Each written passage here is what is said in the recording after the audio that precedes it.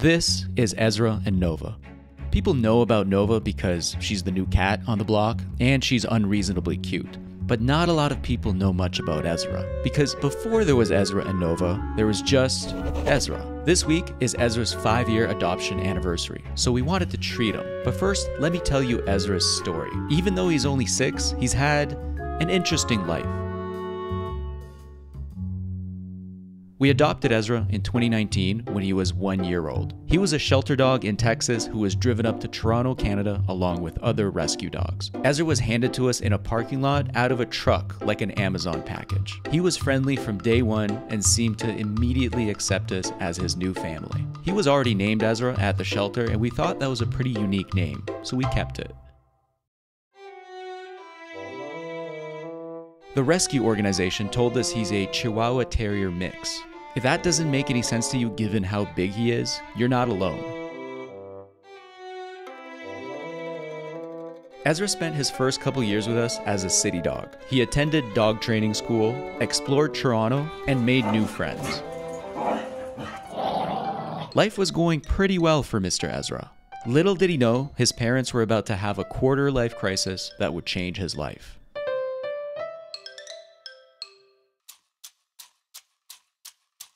In the summer of 2021, Julia and I quit our jobs and took a sabbatical to adventure across Canada while living in our car. Ezra went from spending his days on a couch to camping in national parks, hiking along lakes, and sleeping in a few Walmart parking lots along the way. I know, you didn't ask for this. This is the face of a dog who's done with this shit. He wants to go home.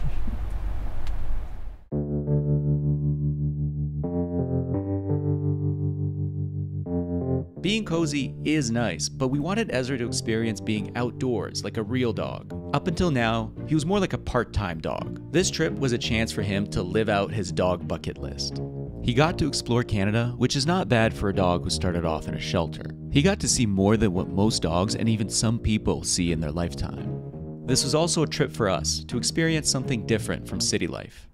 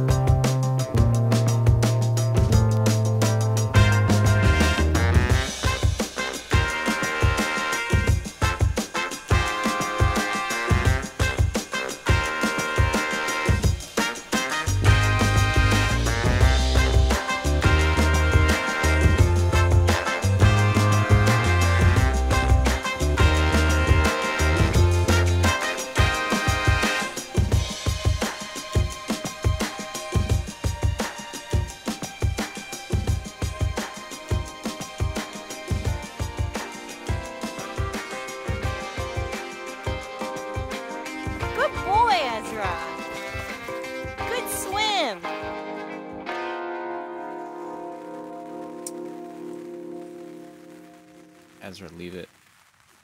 Ezra.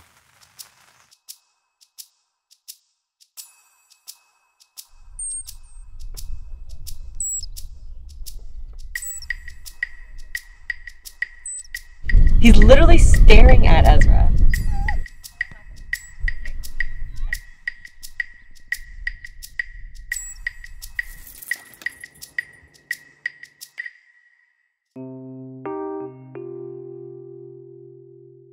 Eight months later, and we ended up back where we started, in Toronto, Canada. At the end of the day, Ezra was still relieved to have his own bed again. But still, we thought something was missing for Ezra. He seemed kind of lonely. We thought about getting him a second dog, but we knew the extra responsibility was too much for us. Ezra has always been curious about cats, so we thought about rescuing a cat. But Julia is allergic, so we gave up that idea. One day we got an opportunity to get a Bengal cat through a friend. We found out Bengals are hypoallergenic, so it could coexist with Julia. That's when Nova entered the picture. They're also affectionate and high energy, so Ezra could have someone to play with and keep him company. Ezra. Ezra was nervous at first, but Nova quickly forced him to be her friend. And from that point on, two YouTube legends were born. Although we settled back into a regular routine, something felt off. The trip was still on our mind.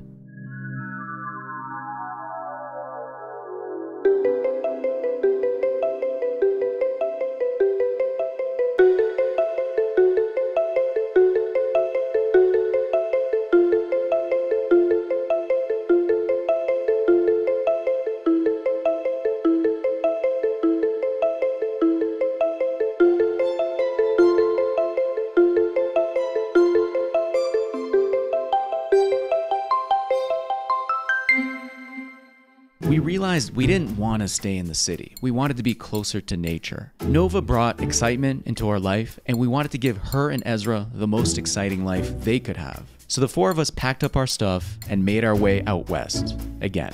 But now, Ezra has a bed to come home to and a friend to experience new outdoor adventures with.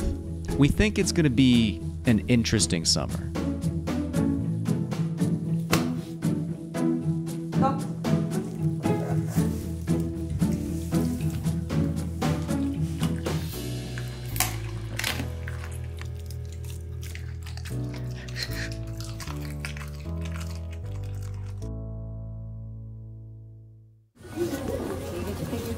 Ezra, pick a toy. Anything you want. No, not interested. You want this toy? Oh, you like that toy. So we're taking it. He's gonna pretend that's Nova. Well, no, no, he doesn't. He has a preference. You want the bunny? Okay, you want the bunny. Okay. Wait, is he allowed to take it before you paid for it? Let's go check out. Oh, she wants it. Damn. Damn, they both want it. Nova needs her own. Now we Ezra, you know the rules. She likes it, she gets it.